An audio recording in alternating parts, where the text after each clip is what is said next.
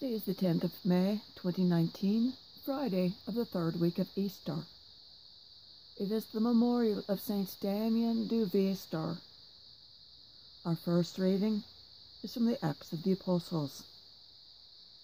Saul, still breathing murderous threats against the disciples of the Lord, went to the high priest and asked him for letters to the synagogues in Damascus, that, if he should find any men or women who belonged to the way, he might bring them back to Jerusalem in chains. On his journey, he was nearing Damascus. A light from the sky suddenly flashed around him. He fell to the ground and heard a voice saying to him, Saul, Saul, why are you persecuting me? He said, Who are you? The reply came, I am Jesus, whom you are persecuting. Now get up and go into the city, and you will be told what you must do. The men who were travelling with him stood speechless, for they heard the voice but could see no one. Saul got up from the ground, but when he opened his eyes he could see nothing. So they led him by the hand and brought him to Damascus.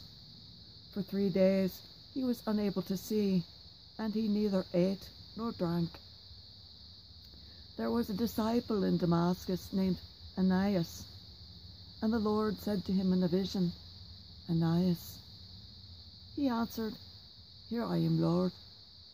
And the Lord said to him, Get up and go to the street called Straight, and ask at the house of Judas for a man from Tarsus named Saul. He is there praying, and in a vision he has seen a man named Ananias come in and lay his hands on him, that he may regain his sight. But Ananias replied, Lord, I have heard from many sources about this man, what evil things he has done to your holy ones and Jerusalem. And here he has authority from chief priests to imprison all who call upon your name. But the Lord said to him, Go, for this man is a chosen instrument of mine to carry my name before Gentiles, kings, and children of Israel, and I will show him what he will have to suffer for my name. So Ananias went and entered the house. Laying his hands on him, he said, Saul, my brother, the Lord has sent me, Jesus who appeared to you on the way which you came, and then you may regain your sight and be filled with the Holy Spirit. Immediately, things like scales fell from his eyes and he regained his sight.